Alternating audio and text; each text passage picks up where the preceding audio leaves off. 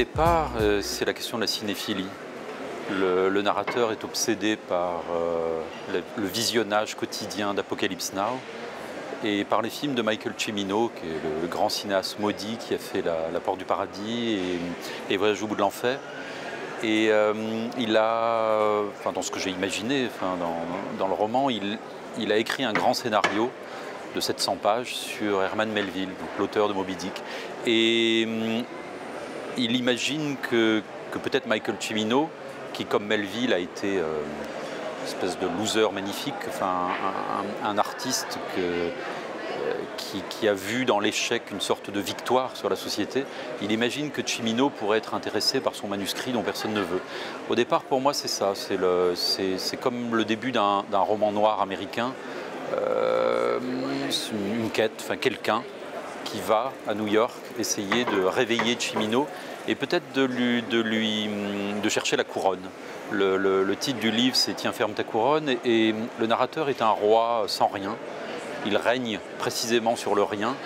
Il est affalé sur son canapé euh, à longueur de journée, mais il a une, il a une couronne euh, invisible dont le roman va raconter comment il la reconquiert.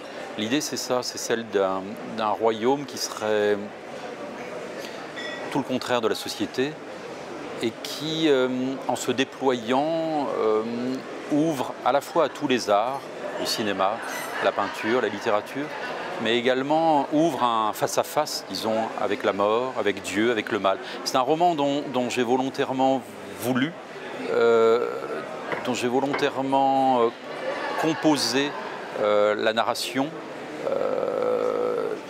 selon, je dirais, une idée excessive. Cet homme est excessif et ne l'intéresse que les questions excessives, donc celle de Dieu, celle de la mort, celle du mal.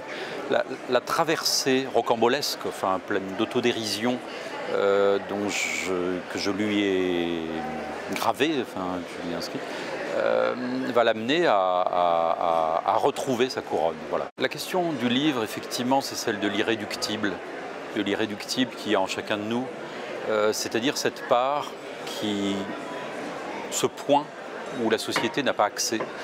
Je pense que l'irréductible, euh, ce point étincelant, effervescent et absolu, euh, est précisément ce qui, ce, qui, donne la couronne à, ce narrateur.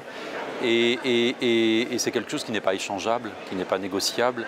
Et durant toutes ces aventures, au fond, aventures qui vont l'amener à New York, qui vont l'amener à passer une nuit dans le musée de la chasse et de la nature, puis auprès d'un lac italien, il y a un parcours qui est au fond euh, le vieux parcours spirituel. Au fond, il s'agit de, il s'agit de, rejoindre à la fois des étincelles sensuelles et aussi ces étincelles sacrées qui font que derrière la comédie d'une vie, au fond, se cache euh, oui, une aventure qui a à voir avec le sacré.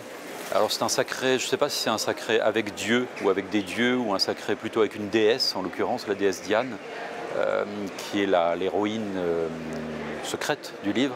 Mais de fait, euh, le, narrateur, bien qu'il soit pris dans des libations nocturnes permanentes, euh, est quelqu'un qui ne cède pas sur son désir, comme dit Lacan.